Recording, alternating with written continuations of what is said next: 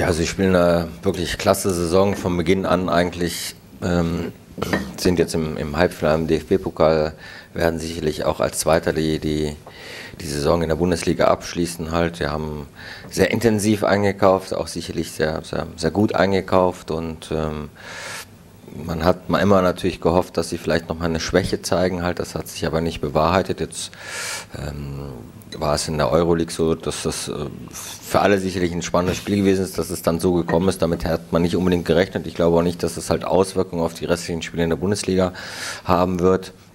Ähm, und am Ende werden sie wahrscheinlich als, wie gesagt, als Zweiter abschließen, haben eine gute Möglichkeit ins Endspiel zu kommen, DFB-Pokal. Und dann kann man schon von einer herausragenden Saison sprechen und dass das ein, ein Verein ist, eine Mannschaft ist, die, die auf Jahre halt auch äh, oben mitspielen werden, das war eigentlich auch, oder die Möglichkeit haben, das war eigentlich schon vor der Saison auch eigentlich klar und jetzt hat sich das wirklich auch nach langer Zeit dann auch mal wieder stabilisiert.